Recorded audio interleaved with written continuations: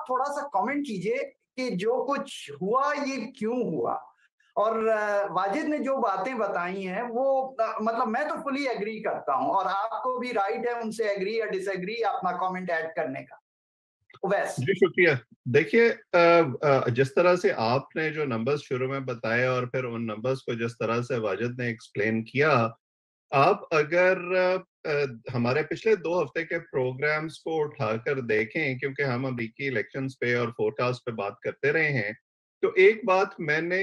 पिछले चंद साल में, बल्कि जब से 2020 का इलेक्शन हुआ है, मैं तब से उस कैंपेन के दौर से ये बात बार बार करता जा रहा हूँ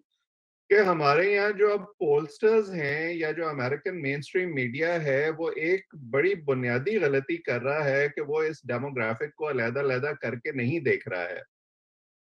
अमेरिका में उन स्टेट्स में जिनको ट्रेडिशनली रिपब्लिकन समझा जाता था, वहाँ पर डेमोग्राफिक चेंज होना शुरू हो गया है। टेक्सास के अंदर फ्लोरिडा के अंदर, अगरचे फ्लोरिडा में अपना बेस बनाया है ट्रंप ने, लेकिन इन स्टेट्स में हिस्पैनिक पॉपुलेशन बहुत ज़्यादा है। एरिजोना के अंदर हिस्पैनिक पॉपुलेशन बहुत ज़्यादा है। और ट्रंप का मसला ये था कि ट्रंप ने सिर्फ़ मुसलमानों को या पाकिस्तानियों को जो है वो निशाना नहीं बनाया था। वो, उन्होंने तमाम इमिग्रेंट्स कम्युनिटीज को इस तरह से निशाना बनाया कि लोग सोचने पर मजबूर हो गए कि क्या हमें एक इस तरह का अमेरिका कबूल है जिसमें सदर ट्रंप और उनके हामी हमें निशाना बना रहे हों, नस्ली बुनियाद पर, रंग की बुनियाद पर। मैं फ्लोरिडा में मौजूद था जब 2016 में सदर ट्रंप मुंतखब हुए थे और it is a deep red state मैं वहीं रहता था, चार साल में वहीं रहा हूँ। बहुत से ऐसे लोगों को मैं उस इलेक्शन के बाद मिला जिन्होंने हमसे ये कहा कि हमने ट्रंप के लिए वोट किया था, लेकिन हम ये नहीं समझते थे कि उनकी पॉलिसियाँ इस तरह की होंगी तो ये तो शायद गलती हो गई है हमसे। अब मैं टेक्सास में रहता हूँ पिछले छह साल से, और टेक्सास भी आपको पता है कि रिपब्लिकन स्टेट है, लेकिन यहाँ भी जिस डेमोग्राफिक की मैं बात कर रहा हूँ, ह्यूस्टन का मेयर जो है, वो डेमोक्रेट है, मेरी काउंटी की जज जो है, वो डेमोक्रेट है। अमेरिकन मेन स्ट्रीम मीडिया मुझे लगता है कि इस चेंज को जो नीचे ही नीचे आ रहा है, अमेरिकन वर्क फोर्स के अंदर जो है, वो हर साल तनासब बढ़ता जा रहा है इमिग्रेंट इमिग्रेंट कम्युनिटीज का इसको वो अभी तक नजरअंदाज कर रहे हैं और वो जो उनके ट्राइड एंड एस्टेब्लिश्ड मेथड्स हैं ये देखने के कि क्या रुख इख्तियार करेगी। सेनेट की रेस या हाउस की रेस या गवर्नर की रेस वो बुनियादी नुकता है। अब ये ठीक है जैसे हमने पहले भी बात की थी पिछले प्रोग्राम्स में कि इकोनॉमी एक बहुत बड़ा इशू है। लेकिन लोगों के लिए जब जब फैसला इस बुनियाद पर आ जाता है कि क्या इकोनॉमी के जो कंसिडरेशन हैं, उनको हमने देखना है और उसकी बुनियाद पर हमने उस मॉडल पर वापस जाना है जिससे हम बड़ी मुश्किल से निकले हैं, या फिर हमने ये उम्मीद लगानी है, क्योंकि अमेरिकन इकोनॉमी में बहरहाल अभी भी इतनी जान है, लोगों के पास ऑप्शंस हैं कि वो किसी ना किसी तरह से फ्लोट कर रहे हैं और उससे बाहर निकलने के लिए अब जैसे ये इंफ्रास्ट्रक्चर बिल है बाइडन का दूसरे उन्होंने लिए हैं इकदाम उसमें ये नज़र आता है कि शायद अगले कुछ अरसे में ये सूरत हाल बेहतर हो जाए। तो मेरे लिए तो ये जो रिज़ल्ट है ये दो चीज़ों की मैनिफेस्टेशन है। एक तो ये कि जो डेमोक्रेटिक कोर है और इमिग्रेंट कम्युनिटीज हैं उन्होंने हमें ये दिखाया है कि हमने वापस नहीं जाना। दूसरा जो हम एक मरमरिंग सुन रहे थे इस कैंपेन से पहले के रिपब्लिकन पार्टी के अंदर भी, चाहे उनकी लीडरशिप हो या उनका वोटर हो, वो खुश नहीं है इस बात से, जिसकी तरफ़ वाजिद ने भी इशारा किया कि किस तरह से डोनाल्ड ट्रंप ने पार्टी को होस्टेज बनाने की कोशिश की है। तो मुझे लगता है कि ये एक मैनिफेस्टेशन उस चीज़ की भी है कि लोगों ने उनके अपने वोटर ने उस चीज़ को पसंद नहीं किया। सो so, वैस ये ये भी आप कमेंट भी करें और ये भी ये भी ज़रूर बताएँ कि अगर तो प्रेसिडेंट बाइडेन इस वक्त कह दें कि मैं जो हूँ 2024 का इलेक्शन में नहीं होऊँगा कैंडिडेट तो आप नहीं समझते कि दूसरे कैंडिडेट्स जो जैसा वाजिद कह रहे हैं कि कोई है नहीं अभी तो वो उभरना शुरू हो जाएँगे?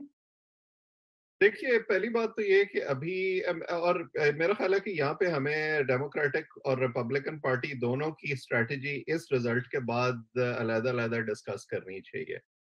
अगर सदर बाइडन आज ये अनाउंस कर दें दो साल पहले कि वो दो साल के बाद जाके दोबारा सदारती इंतखाब लड़ेंगे जिसमें अभी तक जब भी उनसे यह पूछा गया उन्होंने इसको रूल आउट नहीं किया लेकिन मेरा ख्याल है कि अभी भी ये बहुत प्री होगा क्योंकि अगेन जिस वजह से वो पहली दफ़ा सदर बने थे, उनको बहुत ज़्यादा एंटी ट्रंप वोट पड़ा था और उन्होंने अपनी पोजीशंस को भी एडजस्ट किया था। बर्नी सैंडर्स को थोड़ा सा जो उनके सपोर्टर्स थे, नौजवान, उनको अपनी तरफ़ अट्रैक्ट करने के लिए और इस मिड टर्म पोल्स में हमने देखा कम अज कम जो प्रोजेक्शन इलेक्शन से पहले की थी कि नौजवान अब थोड़ा सा डिस्टेंस कर रहे हैं उनसे। वो शायद इतना खुश नहीं है इस पॉलिसी से, खासतौर पर जो जॉब मार्केट की सूरत हाल है, जो इकोनॉमी की सूरत हाल है। मुझे ये लगता है कि